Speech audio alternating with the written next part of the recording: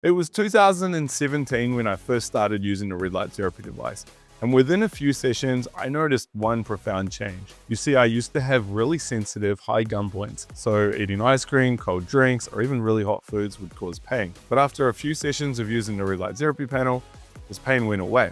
I talk about that in another video. Now back then, red light therapy wasn't widely known. Fast forward eight years and it's everywhere, in particular in the beauty space. Now, for someone that has been using and testing red light therapy devices for eight years, you think that I'd be the pinup model for perfect skin, radiant health, and longevity, right? Well, I do want to share a few thoughts on this and photos so hang around for that. But first, I do want to touch on what the science shows around red light therapy use and skin health. Because in truth, even though these beauty influences may be exaggerating a few claims, fundamentally those claims are sound. So what does the research on red light therapy and skin health actually tell us? And why is it that so many people are turning to red light therapy devices such as red light therapy masks for skin anti-aging benefits. First off, red light therapy, or photobiomodulation as it's more technically known, uses specific wavelengths, red and near infrared wavelengths, to stimulate cells in the body. And when it comes to the skin, we've got a growing body of evidence showing real world benefits. One of the biggest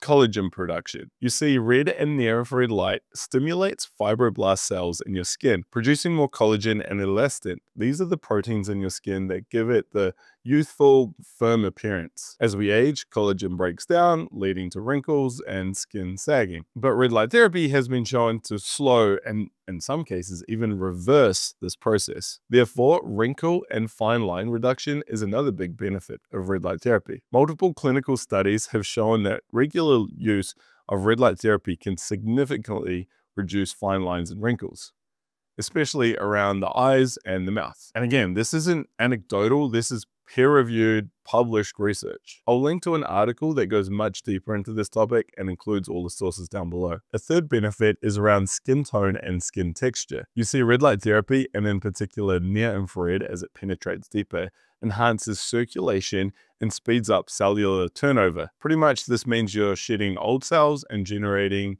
healthier new cells faster. And in turn, this can help with skin tone, reducing redness, and creating a more smoother appearance and feel. And another area that red light therapy can help with is around inflammation. The light can reduce inflammatory cytokines while also improving healing, and in turn, this can even help with things such as acne and scarring. Now, again, I'm saying all of this because this is what the science shows us. Now, some of the researchers are even using very advanced tools to measure skin tightness, to measure skin smoothness, even advanced microscopes to look at what's going on at a cellular level in the skin. So this is why people are turning to red light therapy for skin benefits. It works, the costs of entry are quite low, and the side effects are almost non-existent. So what about me then? I've been using red light therapy devices for a long time.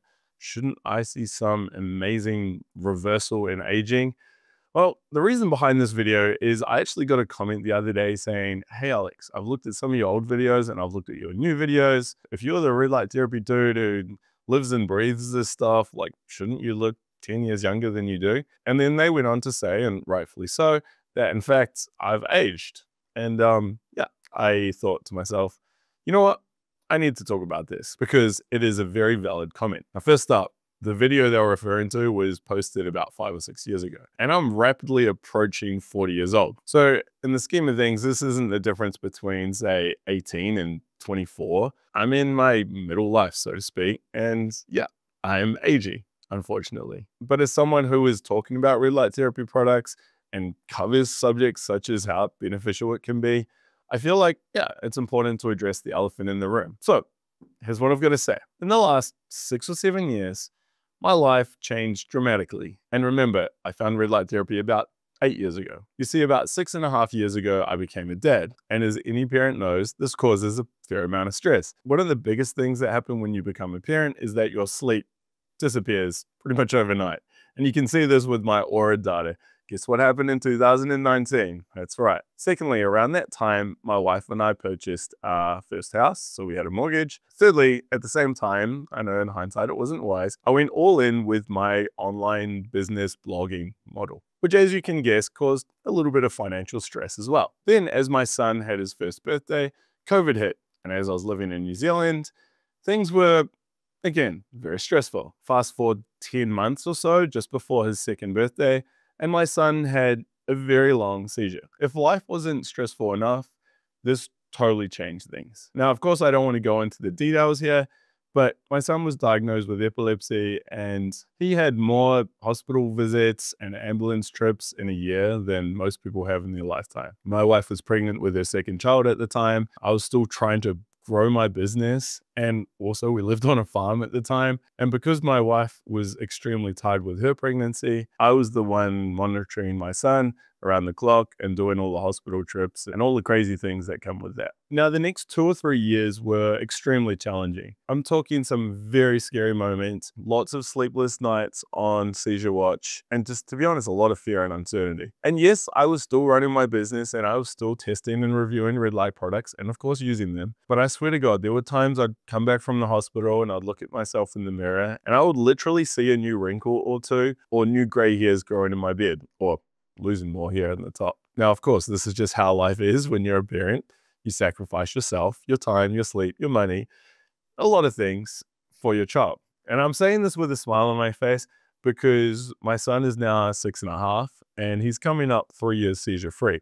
We still have a lot of things to sort through. For instance, he has been ill for 19 days out of the last 30. And though he's not having the seizures, the illnesses can still be pretty severe. But other than that, he's a happy, relatively healthy, thriving child. He rides motorbikes, for instance. So I'm sure you can see where I'm going with this. Yes, we know red light therapy can help. It can help in a lot of metrics. There is a lot of research out there showing that it's beneficial for not just skin, but wound healing, surgery recovery, general inflammation, even sunburn. It's amazing for that. But it's not a magic cure all. You can't just go out and buy a $500 product and think after one session you're going to wake up looking and feeling 10 years younger. You may not reverse aging, but it may slow down the rate. You may not cure that back pain, but it may mean you don't need as much medication. You may not win the championship title in your sport, but you may start hitting PRs in the gym. And even though I've got a fair few wrinkles now and a lot more gray hairs than I had seven or eight years ago,